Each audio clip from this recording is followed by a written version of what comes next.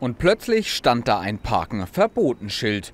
Sehr zur Verwunderung der Anwohner gilt das Parkverbot nicht nur in der Mahirstraße, sondern gleich auf mehreren Flächen im Bogenhausener Viertel zwischen Effa und Oberföhringer Straße.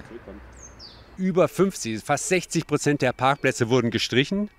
Und die fehlen jetzt hier einfach. Ja. Ich kann, ja, es ist an manchen Straßen ist sogar auf beiden Seiten gegenüber absolutes Halteverbot. Jetzt suchen wir alle jeden Morgen, wenn wir hier ankommen, ewig lange nach einem Parkplatz. Ich habe hier vor 16 Jahren bin ich hier in diese Kanzleiräume eingezogen.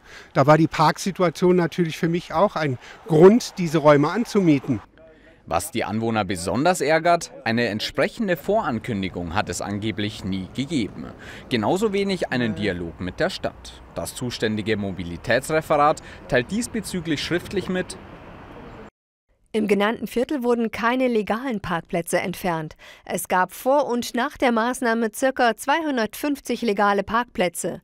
Die Halteverbote machen lediglich deutlich, wo laut Straßenverkehrsordnung auch vorher schon nicht geparkt werden durfte, zum Beispiel auf den Gehwegen. Der zuständige Bezirksausschuss hofft auf eine Kompromisslösung, mit der beide Seiten leben können. Florian Ring kann aber auch den Zorn der Bürger verstehen. Dass es ein Parkverbot auf Gehwegen gibt, ist nicht neu. Dieses Parkverbot existiert seit über 50 Jahren.